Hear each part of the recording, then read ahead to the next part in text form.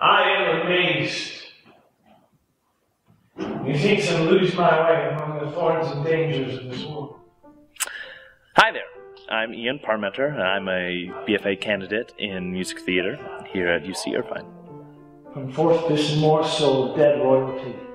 The thing that I love about Shakespeare is the poetry in the text.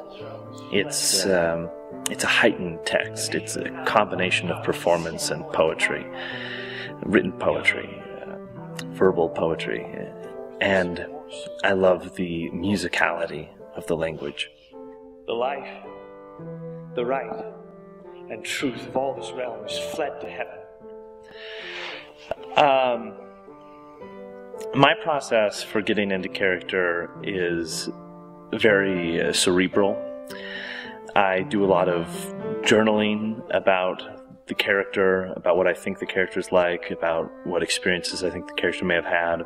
I fill in the character's um, the past that isn't filled in by the, the text, whether it's the play or the screen.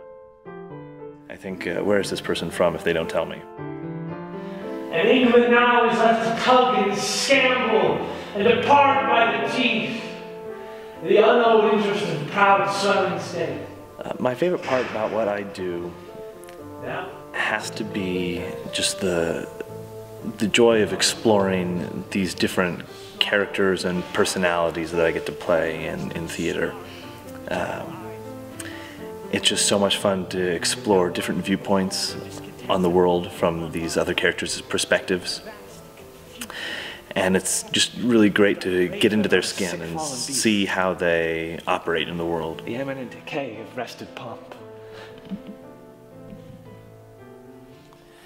Now happy he whose cloak and cincture can hold out this tempest. Bear away that child. And follow me with speed out to the king. A thousand businesses are brief at hand. And heaven itself doth frown upon the land.